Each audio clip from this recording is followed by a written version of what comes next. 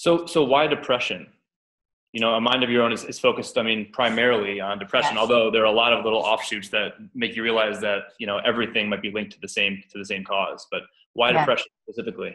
Right. So, so what you're saying is very true because the illusion of these different diseases being different diseases um, is one that I'd like to myth bust. You know, up front. You know, is depression really different from any other physical illness in that it's just a message that there is a source of imbalance to be examined, right?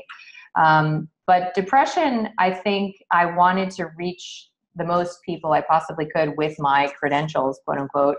Uh, and the truth is that you know 11% of americans are taking psychotropic drugs one in four women of reproductive age are depression is the leading cause in the world of disability according to the world health organization so i couldn't you know i couldn't pick a heavier hitter um, and it also happens to be one that that touches the very core of major questions we have to begin asking about our orientation towards our bodies and our um, real lack of acknowledgement that there's anything beyond the body in all of conventional medicine. You know, that there is such a thing as, um, you know, a soul or spirit is something that you know despite the fact that psychiatrist actually means doctor of the soul it couldn't it couldn't be more um, divorced in a really cartesian way you know from from any acknowledgement that there is any role for experience, right? Everything is management and uh, functionality and,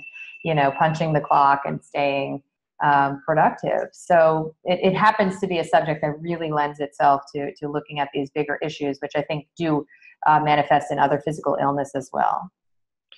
One, one of the spookiest things that I've ever I've ever encountered was two two very close friends of mine. You might even call them fam, very close family members. Um, got divorced, and when they mm-hmm. got divorced, they were, you know, the first thing that their that their psychologists did was to refer them to a psychiatrist to prescribe them some kind of an antidepressant. It's a perfect example. And, and, there wasn't, and these are very smart people, and they both did it. They both took it, and because you know, I think that there is sort of this we just do what our doctors tell us to do. I mean, you're, you're, it's just the way that we, we were raised. If the doctor tells you to do something, then you give it a shot, you know, unless, unless you, you know, you experience, like you said, like a transformative illness of your own where you have to find other ways. You don't really ever come to that conclusion you just do what your doctor tells you to do. These people both took antidepressants and started fading away. Like, you know, they were, yeah, they weren't, they weren't like, they weren't like crying or like, you know, and, you know, curling up in a fetal position, but they were also not themselves. They were gone they were basically just gone for a couple months until I started my, and my, my sister started, you know, both being like, Hey, um, what the hell is going on? Like, are you kidding me? You don't know, you're, you're really doing this to yourself right now. So, I mean, the fact that this is not, um, this wasn't a chronic condition. This, this, this wasn't even a chronic condition. This wasn't even, this was nothing. This was just a life circumstance that they were prescribed medicine for. Yes, it's amazing. You know, I love that example because it really illustrates what we're dealing with here. You know, there, there's recent data just out that echoes previous data that suggests basically most prescriptions for antidepressants are written by non-specialists, so mostly family practice doctors and GPs, internists, and that more than half of prescriptions are written not for depression, for like dog dying, for divorce, for circumstantial experiences. And listen, doctors, for the most part, I have to believe, are not bad people. You know, this is the tools that we were given to ease struggle and suffering we want to fix it right that's part of the problem is the whole mentality of conventional medicine is fix it fix it fix it and so you know a divorce is challenging you know for many people it's like a birth canal you know to, to a new you to your next chapter. And if if everything is co-conspiring around you to, to essentially say like don't go there that could hurt. Or don't go there like that could actually interfere with work. Or don't go there you have shit to do you know you don't have time for that. Then when somebody offers you a hand in the form of a prescription you know how could you not take it why would you not take it and part of my mission um, you know it has really been to, to focus on some of the almost sensational sounding uh, concerns that I've developed after a deep dive into the literature, which include the fact that taking an antidepressant prescription um, can actually change the course of your life and the lives of other people within days of your first dose.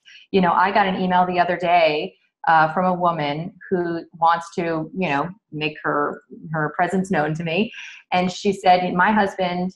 Um, never suffered from depression in his entire life, was not a psychiatric patient. He was struggling with insomnia, circumstantial insomnia, and his internist prescribed him an SSRI antidepressant, and five weeks later, he was found dead hanging in his garage. So she's pretty upset about this, right? And to her, it's pretty clear the causative relationship between that medication and her husband's death. And guess what? People shoot up schools, they take down airplanes, they kill their babies and their children, they murder their spouses. They behave in heinous ways that human beings, like to a person, would never ever consider engaging, uh, if not for being under the influence of. Uh, you know such an altering chemical that we have barely characterized what it does. So if it were the magic pill we are told it is and you know and i was in my training you know that's safe and effective and a quick fix like of course why would you not take it? But the problem is we are we are representing it in a way that is wholly inconsistent with what you know the medical literature is telling us are its attendant risks.